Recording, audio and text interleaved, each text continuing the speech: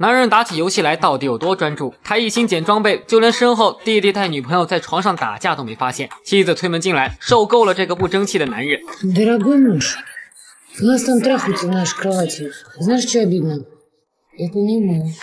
男人名叫基里尔，虽然是一家之主，却整天沉迷游戏，就连弟弟做出这么过分的事，他也从不严加管教。而这次，妻子忍不下去了，逼他好好训斥弟弟。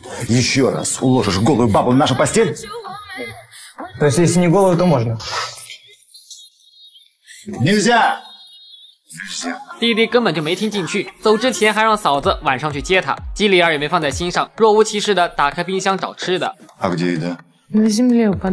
就在刚刚，阿西亚受够了独自拎八个袋子，便把所有吃的扔在了门口。而等基里尔想去捡时，那里就只剩下了一堆塑料袋。此时他仍没意识到犯错，还问老婆为什么这样做。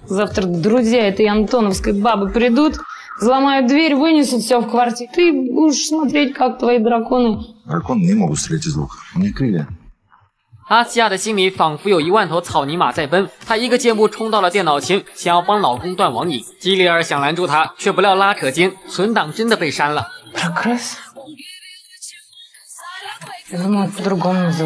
马路上，女人正边开车边换鞋，一不小心就来了个三连撞。阿西亚恰巧是倒霉鬼之一，她怒气冲冲的下车，却发现肇事者是她初中时夏令营的玩伴达莎。两人来到咖啡厅等交警，闲聊间，达莎意外得知阿西亚嫁给了夏令营里的别墅房主的儿子，也就是只会打游戏的基里尔。他们正聊着天，处理事故的交警推门进来，竟然直接亲上了阿西亚。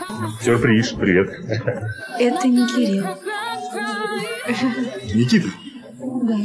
还没来得及消化这件事，接下来的这一幕就让达莎再度震惊。阿西亚又接到一通电话，不是基里尔，也不是交警哥，而是他的情人老板。老板一听说他出车祸，就赶来了，还顺手带了件小礼物。这可让达莎小刀拉屁股开了眼了。等事故处理完，天都已经黑了。阿西亚认命的去接弟弟安东，可硬生生等了一刻钟都不见人出来，反而阿西亚快被里面的音乐震聋了。没办法，他只能试着翻栅栏进去。刚坐上墙头，一个黄毛走了出来。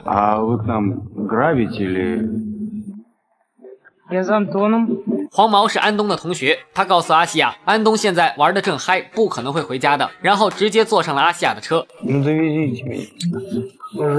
两人踏上返程，可不巧的是，在荒无人烟的树林里，车竟然抛锚了。他们等在路边闲聊间，黄毛知道了阿西亚是已婚妇女，立马就来了兴趣。起初，阿西亚并没有放在心上，只当他是个被宠坏的富二代。可黄毛却说，虽然钱是他爸的，但有一样东西是自己的。放纵过后，阿西亚回到家，果然基里尔已经倒在床上呼呼大睡。这边达莎也打来电话，最近她一直在跟老公闹离婚。自打今天偶遇阿西亚后，就很羡慕她的充实生活。阿西亚不经意的打开冰箱，看见基里尔买的满满当当的食物。